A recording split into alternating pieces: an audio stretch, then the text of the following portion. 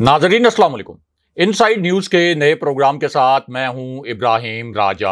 और आज हम बात करेंगे कि सबसे मशहूर और सबसे मारूफ हुकूमती खातून की ताज़ा तरीन और एक शर्मनाक वीडियो कैसे लीक हुई, ये वीडियो किस मकाम पर बनाई गई थी, इस वीडियो में दूसरा किरदार कौन नज़र आ रहा है, शहबाज शरीफ इस वीडियो पर इंतहाई शर्मसार क्यों हैं army chief general Qamar Javed Bajwa के मुतलिक एक बहुत बड़ी और अहम नोयत की खबर क्या है? और इमरान खान साहब ने आज के दिन में न्यूट्रल्स को क्या ताज़ा तरीन और हसास किस्म का पैगाम पहुँचाया है? सबसे पहले आपको army chief general Qamar Javed Bajwa के मुतलिक एक हैरान कन और बहुत बड़ी खबर से आगाह करते हैं। ये एक बड़ी ब्रेकिंग न्यूज़ है, एक ताज़ा तरीन खबर है और ये खबर इसलिए बहुत अहम है कि इसी खबर से जुड़ी एक अहम तरीन वीडियो भी अब सामने आ चुकी है और फिर ये वीडियो इतनी तेज़ी से वायरल हुई और इतनी तेज़ी से फैली कि खान साहब ने एन उसी वक्त न्यूट्रल्स के मुतलिक तीन नए और इंतहाई खतरनाक नोयत के राज खोल दिए। और ये ऐसे राज थे जो एक बहुत ही खास वजह से इमरान खान साहब को खोलना पड़े और वो वजह ये थी कि जीएचक्यू ने अब इमरान खान साहब के तीन ऐसे सवालात थे, जो ताज़ा तरीन उनके सवालात थे, उनके ऐसे जवाब दिए जिन पर खान साहब नाराज़ हैं और जीएचक्यू के ये तीन जवाब इमरान खान साहब को बहुत नागवार गुजरे। इसके बाद फिर खान साहब ने अब न्यूट्रल्स के मुतलिक तीन ताज़ा तरीन और हसास नोयत के राज खोल दिए हैं। ये एक बहुत ही हसास नोयत की खबर है, क्योंकि जीएचक्यू ने खान साहब के तीन सवाल के बरह रास्त जवाब दिए और फिर एक बहुत बड़ा तूफ़ान खड़ा हो गया। अब इनमें से एक जवाब में जीएचक्यू की जानब से ये इल्ज़ाम लगाया गया कि पीटीआई की क्यादत ने फौज और फौजी क्यादत के खिलाफ मुहिम चलाई। ये बाकायदा जीएचक्यू की जानब से एक इल्ज़ाम लगाया गया है, लेकिन जीएचक्यू का जो दूसरा जवाब आया, वो बहुत ही हसास और खतरनाक नोयत का था। जीएचक्यू के इस दूसरे जवाब में यह कहा गया कि इमरान खान साहब इस्टेब्लिशमेंट पर दबाव डालना चाहते हैं, यानी फौजी क्यादत पर दबाव डालना चाहते हैं, और इस्टेब्लिशमेंट को और फौजी क्यादत को मजबूर करना चाहते हैं कि वो सियासत में मदाखलत करे और इसी वजह से तहरीक इंसाफ की जानब से अब फौज पर और फौजी क्यादत पर इल्ज़ाम लगाए जा रहे हैं। ये जी एच क्यू का मौकफ है। लेकिन जी एच क्यू का जो तीसरा जवाब आया इमरान खान साहब के लिए, वो बहुत हसास और अहम नोयत का था और ये ऐसा जवाब था जिस पर इमरान खान साहब को चारों नाचार और मजबूर होकर न्यूट्रल्स के मुतलिक दो बड़े और हसास किस्म के राज भी खोलना पड़े। जीएचक्यू का ये जो तीसरा जवाब था, ये अगले इलेक्शन की तारीख के मुतलिक था, क्योंकि इमरान खान साहब की हुकूमत एक साजिश के ज़रिए गिराई गई थी। इसलिए इमरान खान साहब का मुतालबा यह था कि हंगामी तौर पर फ़ौरन अगला इलेक्शन करवाया जाए, लेकिन जीएचक्यू ने अब अगले इलेक्शन की तारीख के हवाले से एक जवाब दिया, जो खान साहब को नागवार गुजरा, और अब जीएचक्यू की जानब से एक खबर की सूरत में यह जवाब दिया गया कि फौज अगले इलेक्शन के हवाले से कुछ भी नहीं करेगी, कोई किरदार अदा नहीं करेगी, और अगले इलेक्शन का फैसला फौज ने नहीं, बल्कि पार्लिमानी जमातों ने करना है। लेकिन अब इमरान खान साहब ने इन जवाब के आने के बाद आज की तारीख में न्यूट्रल्स के मुतलिक तीन हसास नोयत के और खतरनाक किस्म के राज खोल दिए हैं। तीन बड़े इंकशाफात कर दिए हैं, जो मरकजी मीडिया की हेडलाइंस का हिस्सा भी बने हैं। ये तीनों इंकशाफात मुख्तसरन आपको बताते हैं। अब खान साहब का जो पहला इंकशाफ था वो ताकतवर हलकों के मुतलिक था, यानी न्यूट्रल्स के मुतलिक था इस्टेब्लिशमेंट के मुतलिक था। और अगर आप बर रास्त बात करें तो ये इंकशाफ फौजी क्यादत के मुतलिक था। इस नुकते में इमरान खान साहब ने न्यूट्रल्स को भी मुखातिब किया और इस इम्पोर्टेड हुकूमत को भी मुखातिब किया। और खान साहब के अल्फाज ये थे कि मियाँ नवाज़ शरीफ अपनी बेटी के नाम पर बैरून मुल्क जायदाद लेता है लेकिन अब उसको कोई नहीं पूछ सकता। अब फालूदे वाला या जो पापड़ वाला है, उसके अकाउंट से जो पैसे निकले, अब उनको कोई नहीं पूछ सकता। जरदारी और शरीफ खानदान। पैसा चोरी करके बाहर भिजवाते हैं तो अब उनको कोई नहीं पूछ सकता। और मरियम नवाज़ लंदन फ्लैट्स की मालिक हैं, लेकिन अब उनसे कोई सवाल नहीं कर सकता। लेकिन यहाँ पर खान साहब ने न्यूट्रल्स को मुखातिब किया और बहुत ही हसास नोयत का एक नुक्ता बयान कर दिया। और इस नुक्ते में खान साहब का कहना था कि हम इस वक्त एक फैसला कुन मोड़ पर खड़े हैं और ये जो चोर हैं ये जो करप्ट टोला है, इसने एनआरओ वन लेने के बाद एनआरओ टू भी ले लिया है और नैब कवानीन में जो तरामीम की हैं, उसके बाद ये करप्ट टोला 1100 अरब रुपए खा गया है।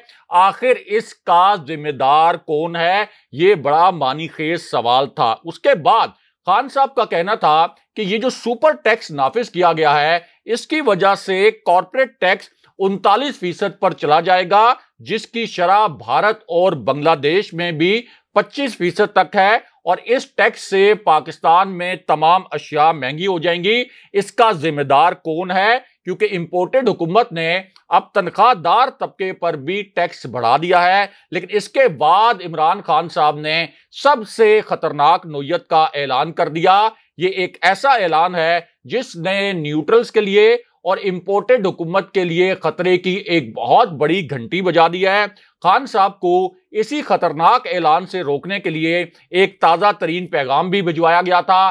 खान साहब को इस ऐलान से रोकने की कोशिश की गई थी, लेकिन अब खान साहब ने कैमरों के सामने आज की तारीख में यह सबसे खतरनाक ऐलान कर दिया है। और खान साहब का ये जो ऐलान है, ये इस्लामाबाद में एक बहुत बड़े एहतजाज के मुतलिक है। और ये जो एहतजाजी जलसा है, ये परेड ग्राउंड में किया जाएगा अगले हफ़्ते और ये परेड ग्राउंड वही जगह है जहाँ इमरान खान साहब ने हुकूमत गिरने से पहले आखिरी जलसा किया था और अगर इसी जलसे के बाद यहाँ जो अवामी सुनामी इकट्ठा होगा, अगर उसका रुख रेड जोन की जाने मुड़ गया, जो कि यहाँ से सिर्फ़ तीन किलोमीटर दूर है तो फिर इस अवामी सुनामी को रोकना नामुमकिन हो जाएगा। लेकिन यहाँ परवेज मुशर्रफ के मुतलिक भी एक तशवीशनाक और बड़ी तकलीफ़ दे किस्म की खबर आई है, और अब परवेज मुशर्रफ के मुतलिक ये जो खबर आई है, इसकी तस्दीक परवेज मुशर्रफ की अहलिया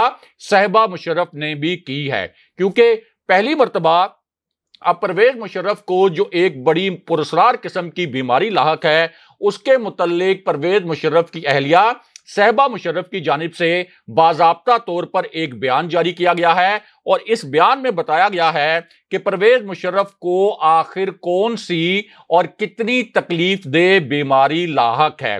परवेज मुशर्रफ के अहल खाना की जानब से जो बयान जारी किया गया है, उसके दो नुकात मुख्तसरन आपके सामने रखते हैं। अब एक तो ये कहा गया इस बयान में कि परवेज मुशर्रफ ने इस ख्वाहिश का इजहार किया था कि वो फ़ौरन पाकिस्तान पहुँचना चाहते हैं और इसी मामले पर परवेज मुशर्रफ से, उनकी अहलिया से और उनके अहल खाना से रबता भी किया गया था। यूएई ने परवेज मुशर्रफ के लिए एयर एंबुलेंस का इंतज़ाम भी कर दिया था। लेकिन अब इसी मामले पर एक बहुत तशवीशनाक किस्म की, बहुत अफसोसनाक और तकलीफ़ दे खबर आई है और ये खबर उनके अहल खाना की जानब से शेयर की गई है।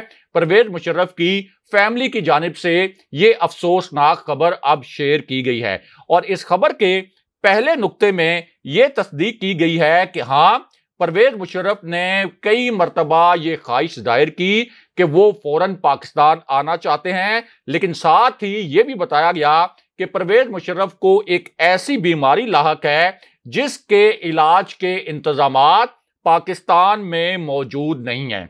इसी खबर और इसी बयान के दूसरे नुक्ते में यह बताया गया कि परवेज मुशर्रफ को सांस लेने में शदीद दुशारी का सामना है और उनके डॉक्टर्स ने इन हालात में परवेज मुशर्रफ को सफ़र करने से मना कर दिया है और इसी खबर में यह भी बताया गया है कि परवेज मुशर्रफ के इलाज के लिए जिस किस्म की मेडिसन इस्तेमाल की जा रही हैं, वो भी पाकिस्तान में दस्तियाब नहीं है, इसलिए परवेज मुशर्रफ फ़िलहाल पाकिस्तान नहीं आ सकते। बहरल अब बात करते हैं कि सबसे मशहूर और सबसे मारूफ हुकूमती खातून की ताज़ा तरीन और शर्मनाक वीडियो कैसे लीक हुई, ये खातून कौन है और इस वीडियो में मजीद कौन कौन से किरदार हैं। ये एक ताज़ा तरीन वीडियो है और एक ऐसी ब्रेकिंग न्यूज़ है जिसने सोशल मीडिया पर पिछले दो महीने में सबसे बड़ा तूफ़ान खड़ा किया है, सबसे बड़ा तहलका मचाया है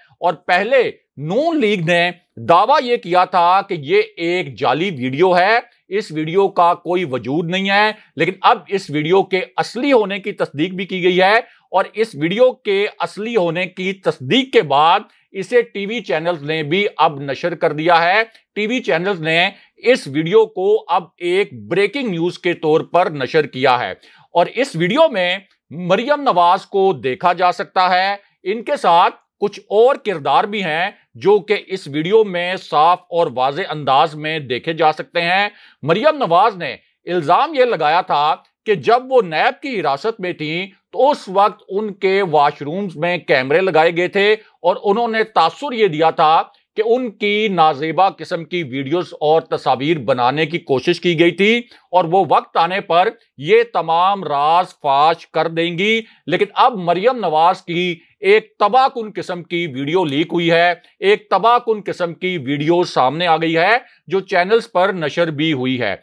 और ये जो वीडियो है, ये नैब के उस कमरे की है, जहाँ मरियम नवाज़ को हिरासत में रखा गया था। और इस वीडियो में देखा यह जा सकता है कि मरियम नवाज़ इस कमरे में मौजूद हैं, यानी जहाँ नैब ने उनको हिरासत में रखा था, और फिर चार से पाँच मजीद खातन भी इस कमरे में दाखिल होती हैं। और इन चारों पाँचों खातन ने वर्दी पहनी होती है, यानी ये खातन पुलिस एहलकार होती हैं। उसके बाद ये जो वर्दी वाली खातन पुलिस एहलकार हैं, इन्हें हुक्म ये दिया जाता है कि आप मरियम नवाज़ के कमरे की तलाशी लें, क्योंकि यहाँ पर एक बड़ा दिलचस्प किस्म का ऑपरेशन होना होता है, ऐसा ऑपरेशन जिसका किसी ने कभी तस्वुर भी नहीं किया होता।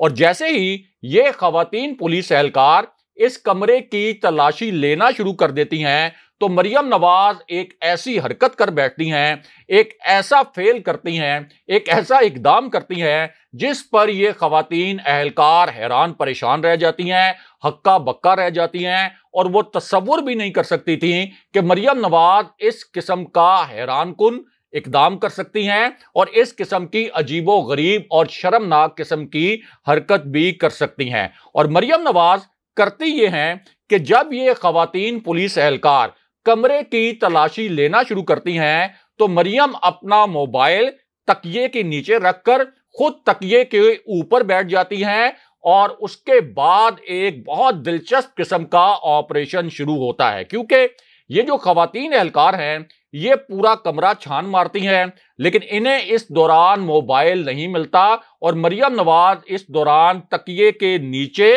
मोबाइल छुपाकर तकिए के ऊपर बैठी होती हैं। अब इसी दौरान यह भी देखा जा सकता है कि मरियम नवाज़ इन खातन पुलिस एहलकारों के साथ बदतमीजी भी करती हैं, लेकिन ये खातन पुलिस एहलकार जो होती हैं, इनको हुक्म दिया जाता है कि आपने मोबाइल हर सूरत में ढूंढना है, लेकिन उसके बाद एक अजीबो गरीब किस्म का ऑपरेशन किया जाता है, जिसके ज़रिए ये मोबाइल बरामद होता है। वो मोबाइल बरामद होने का जो सीन है वो बहुत ही दिलचस्प है। आप ये कह सकते हैं कि ऐसा लगता है कि जैसे ये कोई फ़िल्म का सीन है कि असल में मरियम नवाज़ से ये मोबाइल किस तरह से बरामद करवाया गया, क्योंकि नैब के जेर हरासत आप मोबाइल उस कमरे में लेकर नहीं जा सकते।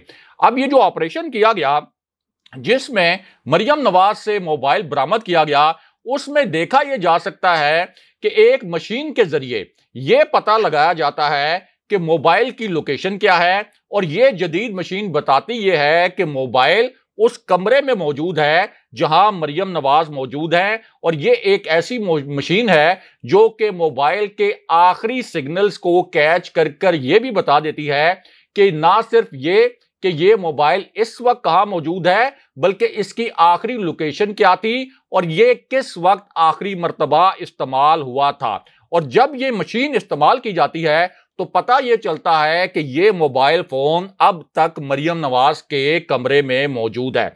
उसके बाद ये जो खातन पुलिस एहलकार हैं, ये दोबारा से मरियम नवाज़ के कमरे में दाखिल होती हैं और मरियम नवाज़ से कहती हैं कि आपका मोबाइल कहाँ है? हमें पता चल चुका है कि आपका मोबाइल इसी कमरे में है, अब आप अपना मोबाइल हमारे हवाले कर दें। लेकिन मरियम नवाज़ ये कहती है कि मेरे पास कोई मोबाइल नहीं है, लेकिन उसके बाद फिर एक अजीबो गरीब किस्म का सीन क्रिएट होता है। और वो इस तरह कि इन खातन पुलिस एहलकारों में से एक को यह शक पड़ता है कि मरियम नवाज़ मुसलसल तकिए के ऊपर क्यों बैठी हैं। उसके बाद मरियम नवाज़ से यह कहा जाता है कि वो इस तकिए से उठें पहले तो मरियम नवाज़ इस तकिए के ऊपर से उठने से इनकार करती हैं, लेकिन जब उन्हें दोबारा कहा जाता है तो उस वक्त वो मजबूरन इस तकिए के ऊपर से उठती हैं और तकिए के नीचे से फिर मोबाइल बरामद हो जाता है। लेकिन इसी वीडियो में फिर एक और हैरान कन मंजर भी देखने को मिलता है,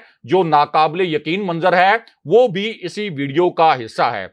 और वो मंजर इस हवाले से है कि मरियम नवाज़ ने यह इल्ज़ाम लगाया था कि नैब में जो मर्द पुलिस एहलकार हैं, वो उनको तंग करते रहे, उनकी नाजेबा किस्म की वीडियोस बनाने की कोशिश करते रहे। लेकिन ये जो वीडियो लीक हुई है, इस वीडियो में देखा यह जा सकता है कि मरियम नवाज़ के खातून होने की वजह से उनकी तलाशी नहीं ली जाती और मरियम नवाज़ इसका फ़ायदा उठाते हुए अपना मोबाइल फ़ोन हर मरतबा अपने कमरे में ले, ले जाती हैं। लेकिन इसी वीडियो में एक और बड़ा दिलचस्प मंजर भी है। एक और आप कह सकते हैं कि बहुत अजीबो गरीब किस्म का मंजर भी है। और इस मंजर में देखा यह जा सकता है कि पंजाब पुलिस की एक जो खातून एहलकार हैं वो मरियम नवाज़ को मोबाइल फ़ोन पहुंचाती हैं खुफिया तरीके से गैर कानूनी तरीके से। उस खातून पुलिस एहलकार को भी देखा जा सकता है। यानी पंजाब में हुकूमत तो तहरीक इंसाफ की थी और जो पुलिस है, वो बज़ाहिर उस्मान बुजदार के नीचे काम कर रही थी, लेकिन इसके बावजूद पंजाब पुलिस मरियम नवाज़ की मदद कर रही थी और ये है शरीफ खानदान का इदारों को करप्ट करने का तरीकाकार और ये वीडियो अब ए आर वाई न्यूज़ ने नशर भी की है। अगले प्रोग्राम तक के लिए खुदाफिज